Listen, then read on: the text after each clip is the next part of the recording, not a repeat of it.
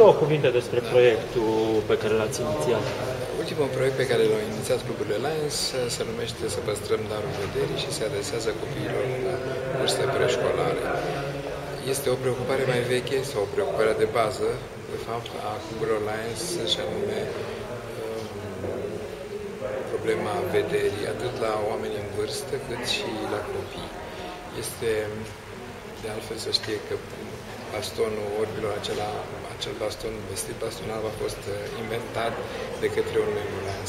În cadrul acestui proiect, astăzi seara am uh, inițiat uh, acest spectacol, această comedie spumoasă a artiștilor de la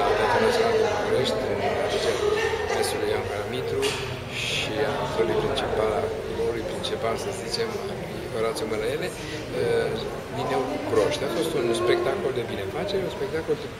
iar fondurile care rămân după, după acest spectacol vor merge toate către, acest, către proiectul pe care l-am amintit la început, să păstrăm darul vederii. Dacă acum trei ani de zile cu Lions din Cluj au avut un proiect adresat vârstnicilor, în care le-am oferit câteva zeci de mii, 25 de mii de oameni consultații gratuite și ochelari gratuiți, e, de data aceasta ne, ne adresăm uh, aceste categorii care, zicem noi și spun specialiștii, au mare nevoie au plecat. de astfel de, de proiect.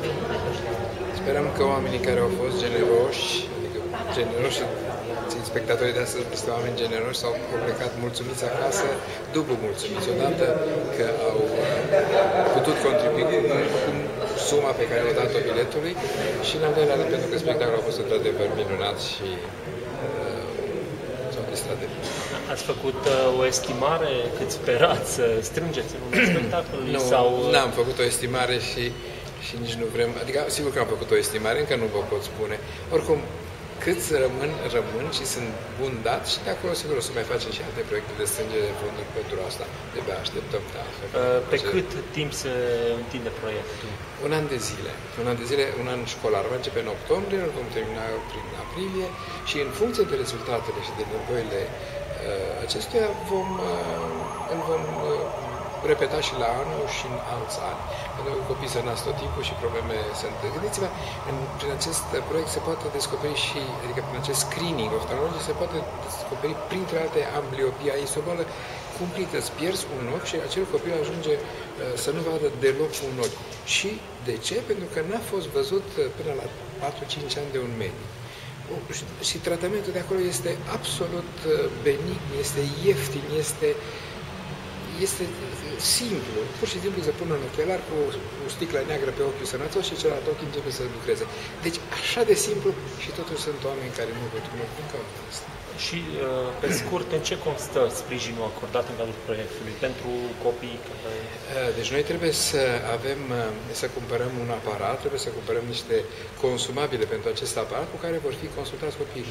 Un consult care este neinvaziv, total neinvaziv, deci vom putea colabora, așa cum spunea doamna profesor Vlăduțiu, a cărui sprijin nu avem neapărat să nu uit așa ceva să spun doamna profesor Cristina Vlăduțiu, spunea că se poate colabora contrar gândirii de până acum și cu colaborare, este cuvântul, cu copii de câteva luni, de un an. Nu este nicio problemă cu aceste aparate noi care există. Și este păcat. Este mare păcat pentru că vederea o capeți o singură dată.